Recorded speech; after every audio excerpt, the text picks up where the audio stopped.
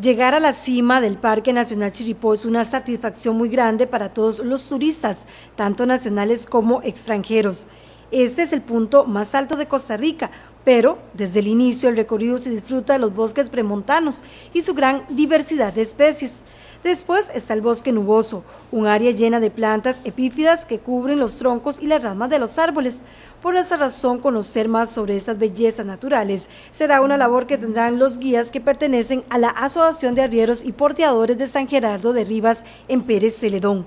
Esta agrupación está gestionando un permiso de uso con el área de conservación La Amistad Pacífico. Estamos valorando que es importante lo que es la ruta, digamos, este, en el sendero principal, dar una alternativa distinta, que es un permiso de uso de guiado. Entonces eso lo estamos trabajando con la asociación, digamos, de arrieros, guías y porteadores de San Gerardo de Rivas, que ellos también son parte del consorcio de las aguas eternas.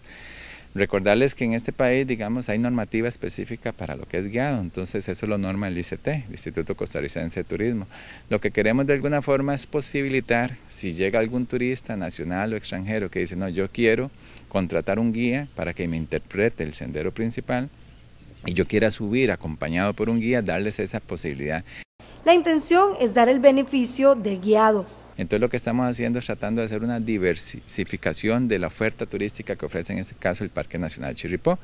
Entonces por ahí sí podríamos tener claro de que si alguien llega y dice, bueno, yo quiero tener los accesos y, tener el beneficio de ser guiado por parte de un guía local, entonces darle la oportunidad a través de un permiso de uso. Eso es lo que estamos tratando de desarrollar. Hay mucho interés por parte, en este caso, digamos, de lo que es la, la la Asociación de Guías, Arrieros y Porteadores. Ronald Chan, director regional de la CLAP, dijo que la asociación tiene guías con todos los conocimientos para brindar este servicio. Tenemos guías comunales preparados, bilingües completamente, digamos, capacitados en primeros auxilios, que conocen el plan de emergencias del parque y que de alguna forma también como parte de la compensación en especie que van a desarrollar en este tipo de las mejoras en el sendero decirles, digamos... Es por el mismo sendero. Es por el mismo sendero, o sea, pero es cuando yo puedo utilizar el sendero principal y puedo, digamos, recibir el servicio de que alguien me guíe.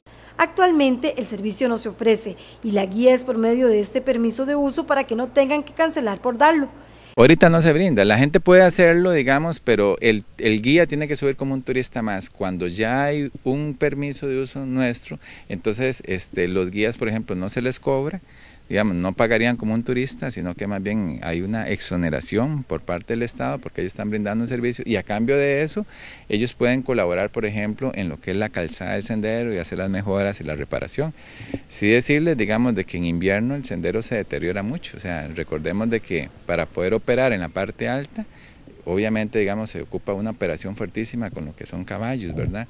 Entonces, entre más demanda tengamos, pues por supuesto eh, vamos a tener proporcionalmente mucho deterioro del sendero. Entonces, este tipo de herramientas podemos aprovechar de que efectivamente con, con esta mano de obra local, ¿verdad? Podríamos tener las mejores condiciones, en este caso el sendero. Esta iniciativa esperan que se concrete pronto y que comience a funcionar este mismo año.